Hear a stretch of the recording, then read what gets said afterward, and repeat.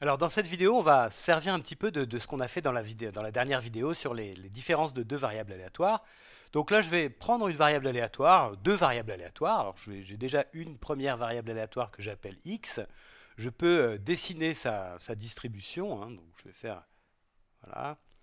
Et sa distribution, c'est peut-être n'importe quoi. Hein. Enfin là, je vais dessiner une distribution qui est à peu près normale, mais c'est pas du tout important qu'elle soit normale. Hein, voilà je la dessine comme ça. Donc c'est une distribution qui a une moyenne réelle, hein, la moyenne sur toute la population. Je vais l'appeler mu de x.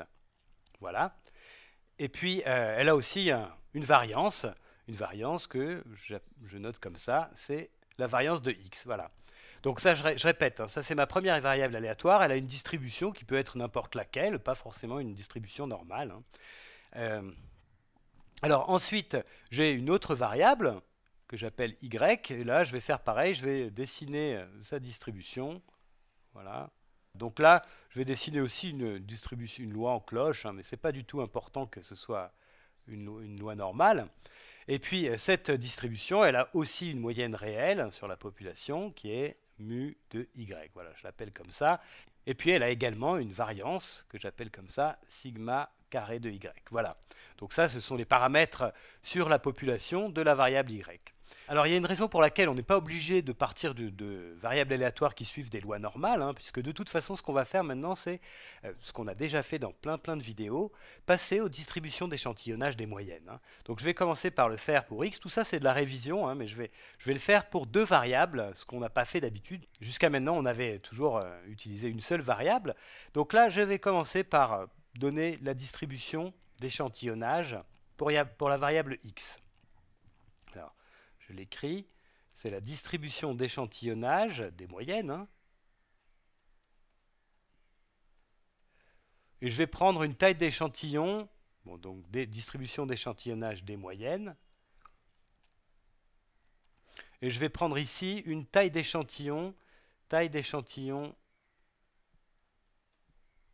de, on va l'appeler n. Donc la taille des échantillons ici, ça sera n. Je vais le faire en violet. Voilà. Alors bon, ce qu'on sait, c'est que si la taille de l'échantillon est, suffisamment élevée, hein, on va être dans les conditions du, théorème de la limite centrée. Donc notre euh, distribution d'échantillonnage des moyennes va suivre une loi normale. Donc ça va être quelque chose comme ça. Je vais la tracer ici. Alors je vais avoir une courbe en cloche, et puis ce que je sais aussi, ça c'est toujours le théorème de la limite centrée, c'est que ça va être une courbe en cloche un peu plus resserrée autour de la moyenne, avec un écart type un peu plus faible que la distribution euh, d'origine. Donc je vais faire une courbe en cloche qui va être un peu plus euh, pointue, disons, voilà, un peu plus euh, resserrée autour de la moyenne, et c'est approximativement une loi normale. Donc sa moyenne, il y a une moyenne réelle aussi, hein, ça c'est, on l'avait appelé mu de x bar. Et ce qu'on sait, puisqu'on est dans les conditions du théorème de la limite centrée, hein, n est suffisamment grand, eh bien on sait que cette euh, moyenne mu de x bar, la moyenne de la distribution d'échantillonnage des moyennes de x, c'est la moyenne de x. C'est la moyenne réelle sur toute la population. Voilà. Alors on sait aussi que la variance de cette distribution d'échantillonnage des moyennes, alors je vais l'écrire comme ça, sigma de x bar au carré, eh bien, le théorème de la limite centrée nous dit que c'est cette variance-là, c'est la variance réelle, ici, donc sigma au carré de x, divisé par la taille de l'échantillon, qui est ici n. Voilà. Ça, c'est vraiment de la révision, c'est tout ce qu'on avait vu sur la distribution d'échantillonnage des moyennes. Donc maintenant, je vais faire la même chose pour euh, y. Donc ça, c'était pour x. Hein. Et là, je vais faire la distribution d'échantillonnage, je vais l'écrire un peu vite, des moyennes de, Y. Hein. Et puis je vais prendre ici une taille d'échantillon différente. Bon, je ne suis pas obligé de la prendre différente, mais là, je vais euh, montrer que effectivement, j'ai deux variables aléatoires. Je ne suis pas obligé de prendre les mêmes tailles d'échantillons. Hein. donc je vais faire ça dans le cas tout à fait général. La taille des échantillons, ici, c'est on va dire, on va l'appeler M. Voilà. Alors, je vais faire comme tout à l'heure, hein. je vais tracer euh, la loi que suit euh, la distribution d'échantillonnage des moyennes. Je sais que ça va être à peu près une loi normale, et je sais aussi que son écart type va être un peu plus petit. Donc là aussi, je vais avoir une courbe un peu plus pointue, un peu plus resserrée autour de sa moyenne. Voilà, quelque chose comme ça. Voilà, et je sais, comme tout à l'heure, que la moyenne de cette distribution d'échantillonnage des moyennes, de y, donc mu de y bar, eh bien ça, ça va être la moyenne euh, réelle sur toute la population. Donc la moyenne mu de y. Je sais aussi que l'écart type de la distribution d'échantillonnage des moyennes, donc je vais écrire plutôt, je vais parler en termes de variance. Hein. La variance de la, distribution d'échantillonnage des moyennes, eh bien c'est la variance réelle, donc sigma au carré de y, divisé par la taille de l'échantillon, qui est m. Voilà. Donc là, j'ai vraiment euh, fait euh, de la révision. Hein. J'ai pris deux variables aléatoires, j'ai regardé leur distribution, et puis regardé les distributions d'échantillonnage des moyennes dans les deux cas. Alors bon, tu te demandes peut-être pourquoi j'ai fait la même chose avec deux variables différentes. Eh bien, c'est parce que maintenant, je vais considérer une nouvelle variable, une nouvelle variable aléatoire que je vais appeler z. Et en fait, cette variable aléatoire, ça va être la moyenne de x moins, là, je vais prendre les mêmes couleurs, moins la, la moyenne des y. Alors je vais préciser un petit peu ce que ça veut dire. Hein. Là j'ai donc ma variable x. Si je prends euh, un échantillon par exemple de taille euh, n, bon, je peux dire par exemple de taille 30, euh, je prends un échantillon de taille 30 là-dedans, je calcule sa moyenne. En fait cette moyenne c'est un élément de la distribution d'échantillonnage des moyennes. C'est une donnée de cette distribution d'échantillonnage des moyennes. Donc je vais pouvoir si par exemple ici j'ai pris mon échantillon et que j'ai trouvé que la moyenne c'était 9,2, euh, eh bien ici 9,2 ça sera une valeur de cette distribution d'échantillonnage des moyennes de x. Et donc ici j'aurai x bar égale 9,2 par exemple. Et puis je fais la même chose avec y, donc là j'ai ma distribution, euh, j'ai ma, variable aléatoire y avec sa, loi, et je prélève un échantillon de taille différente, par exemple 50, je prends un échantillon de taille 50 là-dedans, je calcule la moyenne, et j'obtiens une valeur euh, y bar de cette distribution d'échantillonnage des moyennes en fait. Hein.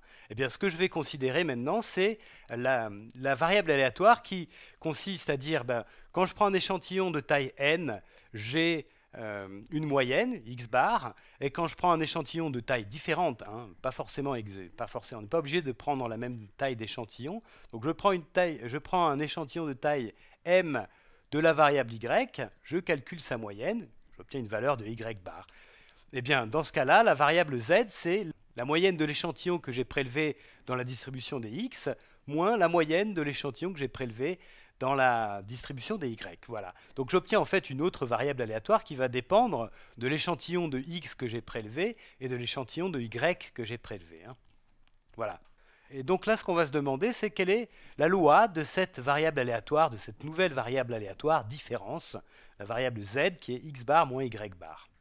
Alors on va essayer de, construire cette loi, hein, la loi de la variable z. En fait, il y a déjà des choses qu'on sait d'après la vidéo précédente, hein, la vidéo qu'on a faite la dernière fois. On sait par exemple quelle est la moyenne de cette variable. Alors ça, je vais l'écrire ici. La moyenne de z. Donc je, peux l'écrire comme ça. Hein, c'est la moyenne de x bar. je vais garder les couleurs. C'est la moyenne de x bar moins y bar.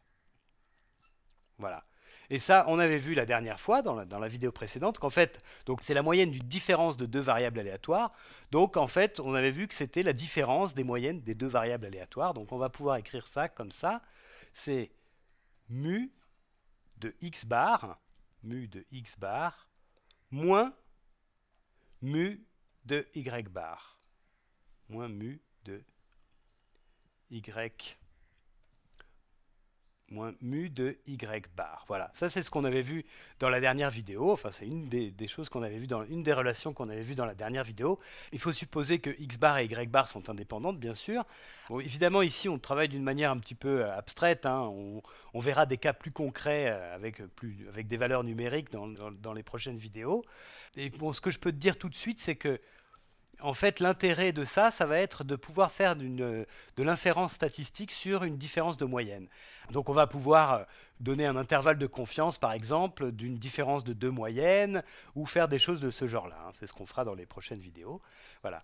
Alors ce qu'on avait vu dans la vidéo précédente, c'était aussi le calcul de la variance d'une différence de deux variables aléatoires indépendantes.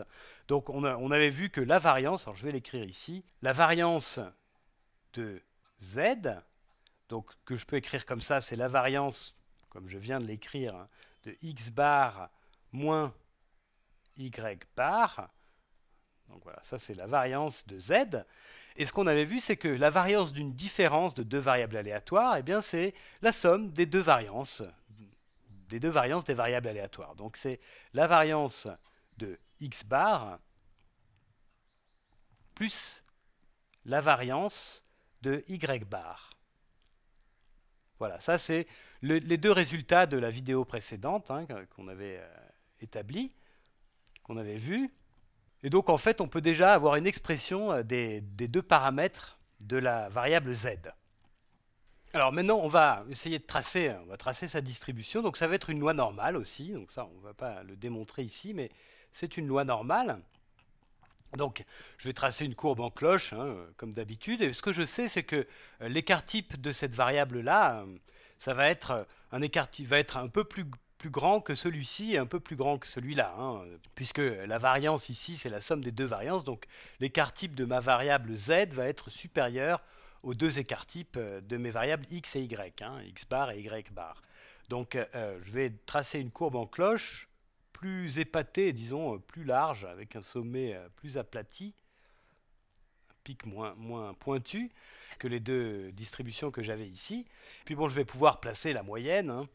Alors la moyenne, c'est ici, c'est mu de x bar moins y bar. Et ce qu'on a vu, c'est que c'était la différence des deux moyennes, donc mu de x bar moins mu de y bar.